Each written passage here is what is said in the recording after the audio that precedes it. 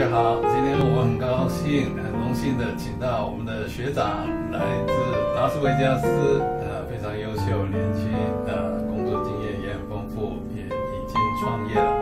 今天他特别来跟我们介绍一下，啊、拉斯维加斯啊、房地产的投资。OK，我们就欢迎 Daniel。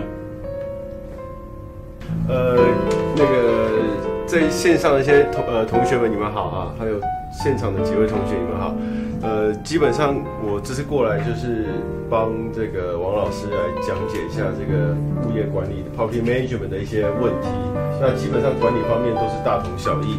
那我先简单做一点自我介绍，我大概是在呃几年前加入这个二零一三年左右的时候来找王老师去考牌的，然后在今年年初的时候成立我自己的公司。那在那之前呢，我都是在给其他很多公司做一些呃管理的助理，还有包含买卖的一些助理，就是帮他们做这些事情。